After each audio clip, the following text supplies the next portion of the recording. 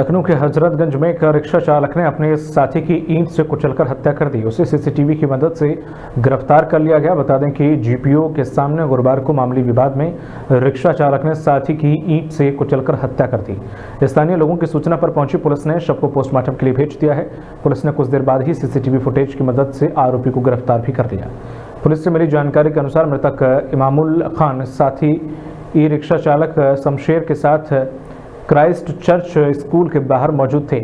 दोनों में किसी बात को लेकर विवाद हुआ, इसके बाद शमशेर ने पास में पड़े ईंट से कुचलकर इमामुल की हत्या करके फरार हो गया।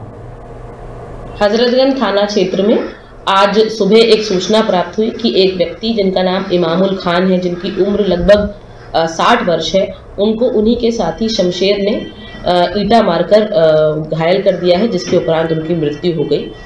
इस संबंध में अवगत कराना है कि दोनों आरोपी शमशेर और इमामुल आपस में परिचित थे और दोनों का पूर्व में किसी बात को लेकर विवाद हुआ था, जिसके बाद शमशेर ने इनकी ईट सर पे ईट मार के हत्या